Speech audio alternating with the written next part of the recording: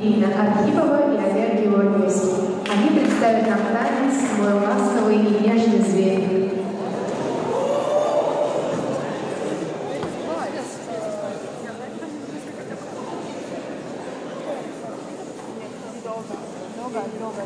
Друзья, аплодисменты.